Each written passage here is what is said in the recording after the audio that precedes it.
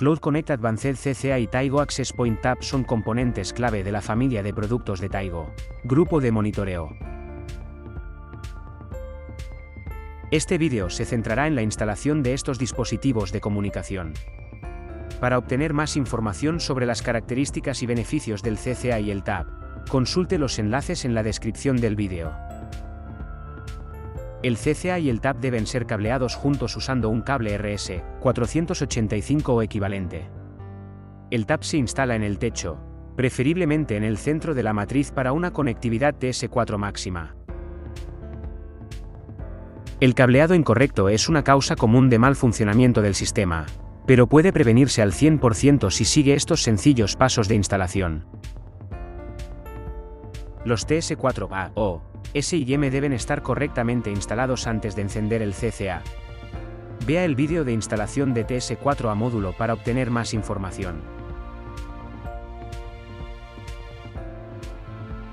Primero, pasa un cable RS485 de 4 hilos desde el TAP al CCA.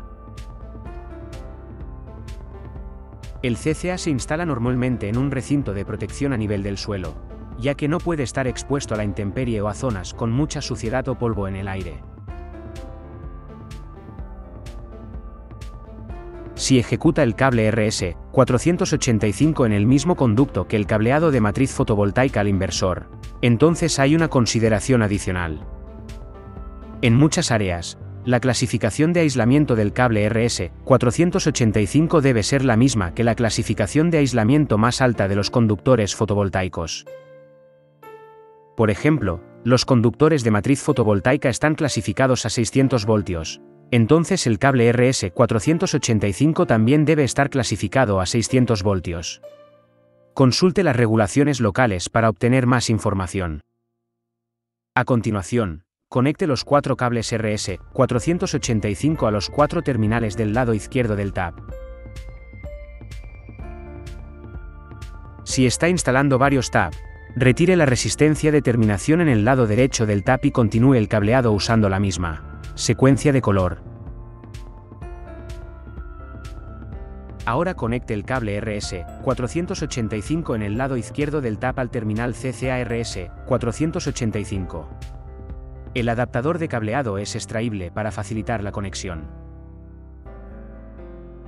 Aunque los colores no importan, el orden de izquierda a derecha de las conexiones TAP debe coincidir con el orden de izquierda a derecha en los terminales CCA.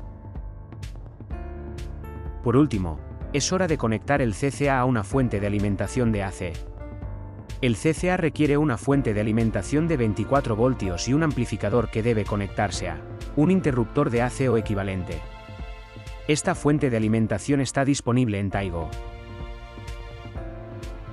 Si utiliza su propia fuente de alimentación, el voltaje de entrada de la fuente de alimentación debe estar entre 100-240 voltios de ACI. La salida debe ser de 24 voltios y un amplificador. Conecte la fuente de alimentación a la parte inferior de la fuente de alimentación de 24 voltios del CCA. Ahora conecte el terminal de alimentación positiva y negativa a los terminales de alimentación CCA.